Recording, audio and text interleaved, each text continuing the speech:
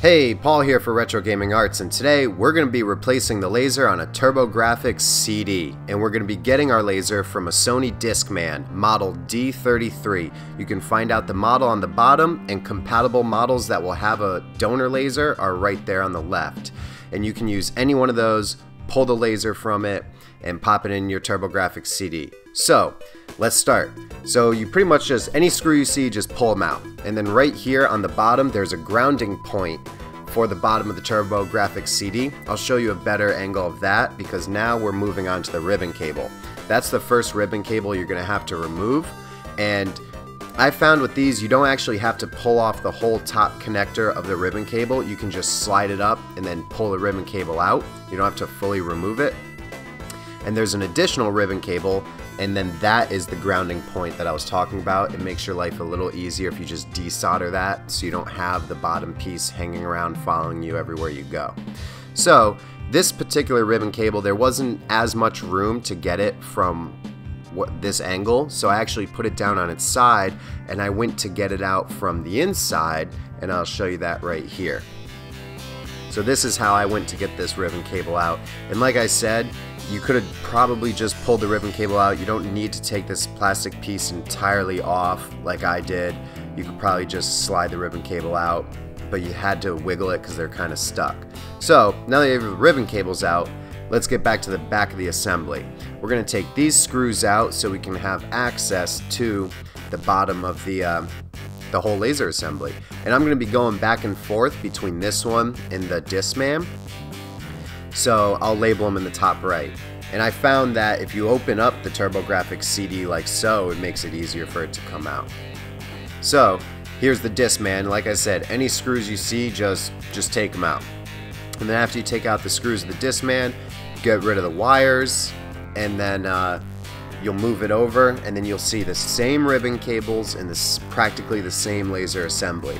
So you're going to want to remove these ribbon cables just like you just did on the TurboGrafx uh, CD. And then after you remove those, you're going to have the same three screws to take out. It's, it's so awesome how similar, it's the exact same laser. Like KS, the KSS 220A, it's the same laser. So like I said, the exact same three screws, you're pretty much just doing the steps twice, doing it to the Discman and to the TurboGrafx CD. And for any time that you're, if you're skipping back and through because you're actually doing this, um, I label what I'm working on on the top right. So if it's Discman or what, it'll say on the top right because they can be uh, very similar looking. So now I'm taking off the screws to get off this top metal plate and we're just going to remove that so we can have full access to the laser. Now the, the laser assembly on the Discman is a little bit different than the TurboGrafx. So in order to remove this laser it's going to be a little bit different, but the principle is the same. There's a ribbon cable just like that, you need to remove that ribbon cable, and then here we're going to go and we're going to just get the TurboGrafx CD to the same point that the Discman is at. So we're going to take off these top screws and we're going to take off, we're going to get them at the same point. And just look at, look at the laser. Look how similar, the laser is exactly the same. It's everything else that's a little bit different. So now we have our Discman and now we're going to be removing it. And the way you get the laser assembly out of this is there's two screws right here and that's for the gear track.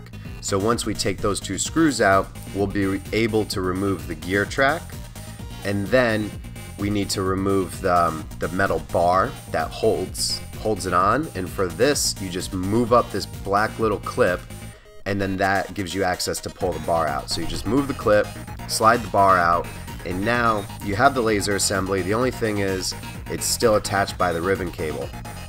Now on these particular ribbon cables, it has a plastic piece that's holding it in place.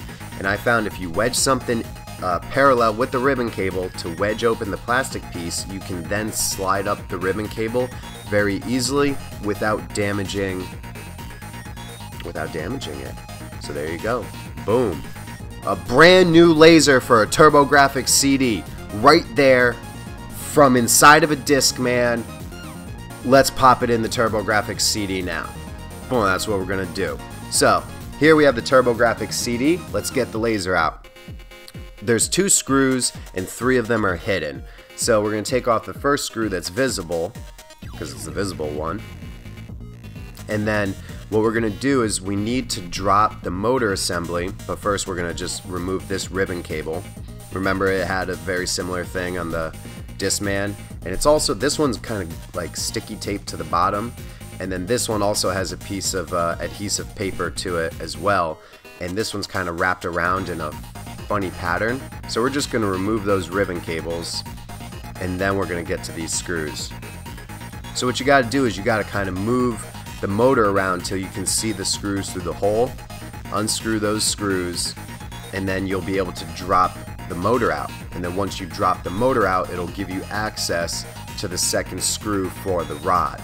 And then that's how you'll be able to slide out slide out the laser assembly. And then there's one more thing that you need to do on the laser assembly, which we're about to get to.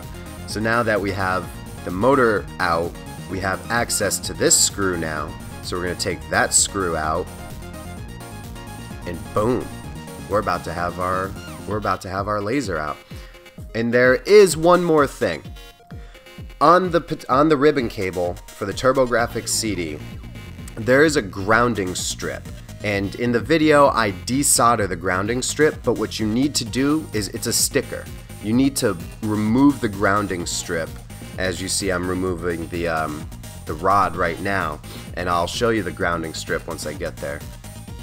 The grounding strip is, is on the ribbon cable right there and uh, I'm actually going to desolder it like I said but all you need to do just peel it off just you don't have to desolder it just peel it off and then use its stickiness to reapply it to the new one in the same spot the same location that's all you need to do and now we're going to swap a piece from the actual laser assembly. So the, the little piece that holds you into the gears is right here on the bottom right. And we're going to take the screws off of that and we're going to move that piece to the Discman's laser. and that piece will go clip in. It'll clip into the gears on the TurboGrafx CD drive, and then you can put everything back together. And so I'm not going to show the full-fledged doing everything backwards, showing you exactly how to put it all back together. Instead, I'm just going to point out the key things that you're going to need to know to put it all back together because just from you taking it apart, your memory will tell you how to put this whole thing back together. And so here's tip number one. When you in order to get that rod back in, you need to put it on the gear track first, and then you need to pull it upwards towards you in order to be able to slide the rod in place. And then you screw the rod in place, you screw the motors all back in place, and then you, um, you just put the whole thing back together. And don't forget about that grounding strip, where you peel it off of the TurboGrafx uh, CD laser and you put it on the Discman laser. That's very important, you need to do that. So now here I am putting it all back together. I'm to give you a couple few more little tips about when you put the ribbon cables back in. The orientation of where they go matters.